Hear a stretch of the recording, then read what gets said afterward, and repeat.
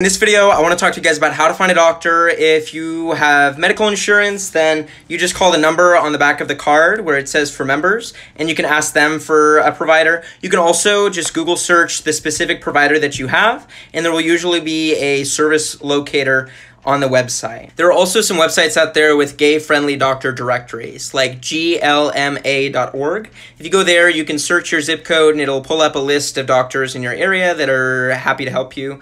Um, none of my doctors have been on there, but they've still been really great. So just because you don't have a doctor on there doesn't mean that they're not going to be helpful for you. If you don't have insurance, then your best bet for getting on PrEP is to go to one of the apps that I mentioned. So like Heymistr is a great one, and they work with people who are uninsured all the time. So that's a really great option for you.